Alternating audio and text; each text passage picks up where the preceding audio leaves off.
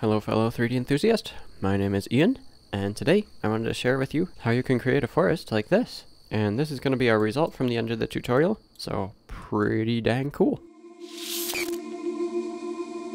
Alright, so let's break down the scene real quick, and then we'll get to making a forest in a second after that. As you can see here, once you leave camera view, the illusion completely crumbles, and it's just a bunch of planes with tree textures on them. Then we got the sky in the background, and we've got this monster guy in the middle. So it's actually really a simple scene, and there's a couple of fun elements I'd like to share with you here. Um, first of all, for these heads that are just kind of moving around, I actually animated them in real time, and if I just pause the timeline here, go into pose mode, just grab bone, and delete all these keyframes.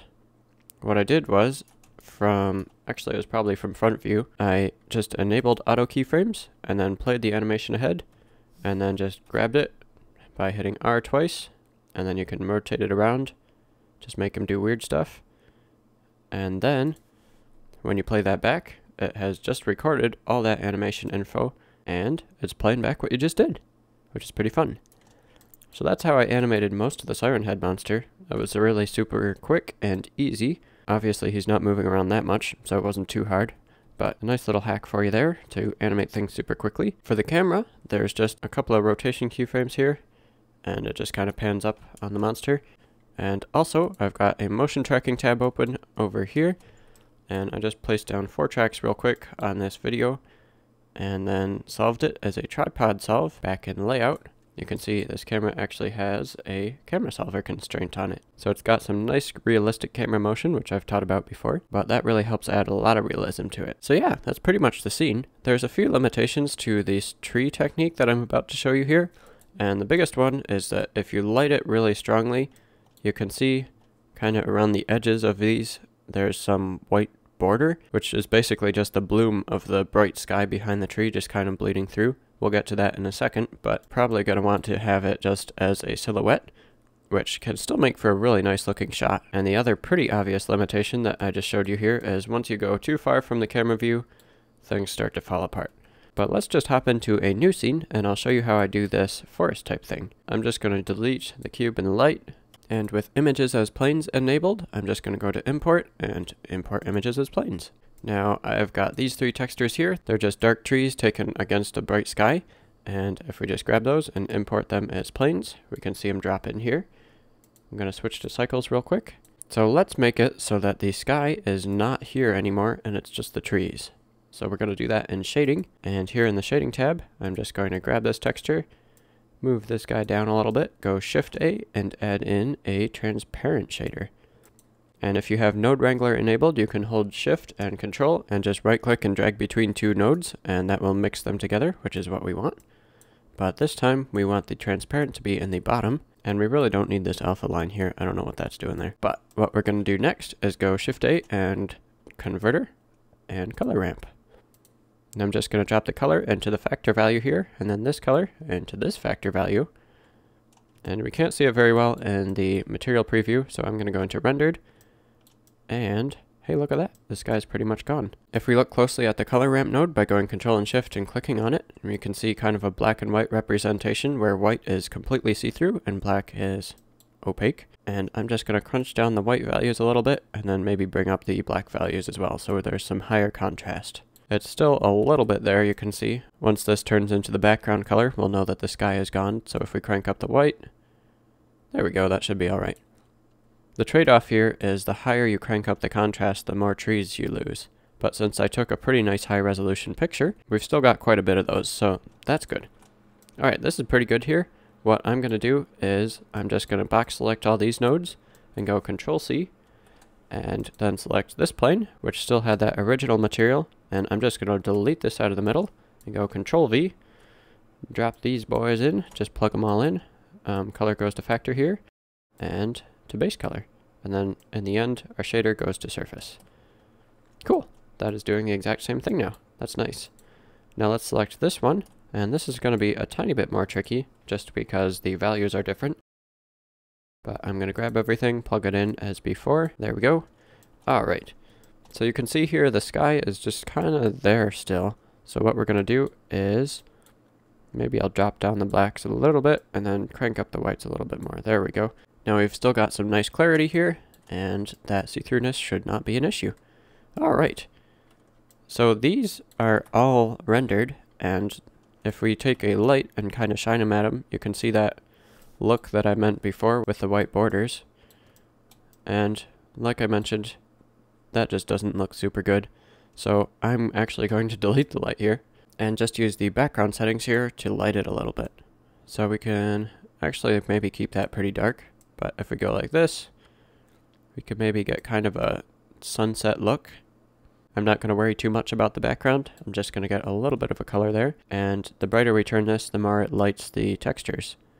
And it doesn't look too bad when you light them with the background, although that is way too bright there. So let's turn that back down to around there.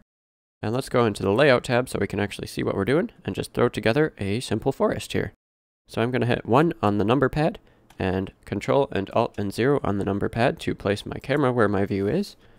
Just going to grab this and move it up a little so we can see the plane. And these guys are not oriented right. So I'm going to go R and Z, 90. There we go. I really liked the way this texture kind of frames the edges of the shot. So what I'm going to do is scale that up and put it in front. I'm just hitting S to scale it and G to grab it. And what we're going to do now is just grab it on the Y axis and move it a little bit closer to the camera. Something like that, maybe. Scale it up a little bit more. There we go. That makes a nice frame. And then with these guys here, we're going to add in our pine trees. If you hit Z and then go to wireframe mode, you can actually see planes, which kind of helps. And I'm in top view here, so I can kind of see the whole picture. I'm just placing these pine tree planes a little bit farther away and a little bit bigger. So if we look in rendered view, hey, we got pine trees. Nice. And we can just grab these and rearrange them however we want. Maybe we want a little bit of a gap there in the middle. Maybe we don't. Maybe we want it to be a forest. And so if we want it to be a bit more like forest instead of just a really simple tree line, we can duplicate these and just grab them and move them back. And if we take a look here, sometimes you can get away without doing anything fancy. Like in this case, it's alright, you can't really see that much repeating. Although if we look closely here, you can see the top of this tree is kind of like the top of that tree. So one thing that'll kind of help with just like instantly recognizable repeating is if we scale it a little bit different, and if we scale it on a negative, like S, X, and negative 1, I'll show you what that actually looks like in Material Preview. If we go S, X, and then just scale it negatively, it just flips it around and mirrors it, so things are a little bit hard to recognize as repeating. And we can just do a little bit of forest scaping here, if we want to match things up so they're not so obvious. Maybe we go like this, I don't know, something like that maybe. There we go, that's not bad. I like that positioning. Alright, so we've got our forest here, and it's all spaced out. I would probably recommend grabbing the camera and just kind of tilting it up like the pictures were when they were taken. So I'm going to grab this and move it down. And just RX to rotate it up a little bit. That way if we want to put models in or anything, they'll be kind of matching up. And now we've got a forest. And you can just kind of pan around and look at it Obviously, if we look too close over here, we can start to see edges, which is not good. Let's scale this guy up a little bit. There we go. Oh, you still see the edge, but obviously that's pretty dramatically moved there. So we can just have some nice rotation here, and you can even have some movement, and it will actually look pretty 3D, because it is 3D. now this is pretty realistic. But if we render it, we can see it is just kind of a mess, and it's really hard to see any distinction in between anything. I mean, obviously, yeah, it's some trees, but if we want it to look a little bit better, what we can do is add in a volume. So I'm just going to go Shift A and add in a cube and scale this up so it kind of encompasses the whole scene like that. And then I'm going to go back into the shading tab real quick, add a new material for this cube, and instead of a principled, we want a Shift A shader and principled volume. And with this little guy, we want the volume to plug into the volume rather than the surface, because that'll mess stuff up. And we want to turn density down and have emission strength super low, so maybe a 0.001-ish. There we go. Look at that. Now we can see the difference between the different layers of trees we have, and that'll really help to separate things. And of course you can scale this up if you want to make it a little bit more encompassing. And we can also change the emission color, which is pretty cool. I like a bit of a blue myself. That kind of contrasts nicely with a little bit of an orange background. Something like that. And now, you got yourself a forest. Now, of course, I'd recommend adding some compositing effects on this to just kind of glue it all together. We're not going to go over that in this tutorial, but it's always a recommended thing. So yeah, that's pretty much the tutorial. If you found this helpful and you'd like to see more tutorials like it, there is a link in the description that says free hydraulic kit bash elements. And when you click that, it will add you to my email list, and I'll make sure the first thing I send you are a pack of hydraulic kit bash elements made for Blender users like yourself. And these will just give you a bit of a jump start when you're working on mechanical projects. The other thing you should be aware of when you're on that email list is every Saturday when I upload a tutorial, I just mail out to that list so that you can be up to date on all the tutorials. But yeah, that's pretty much it. I hope you have an excellent day, and cheers!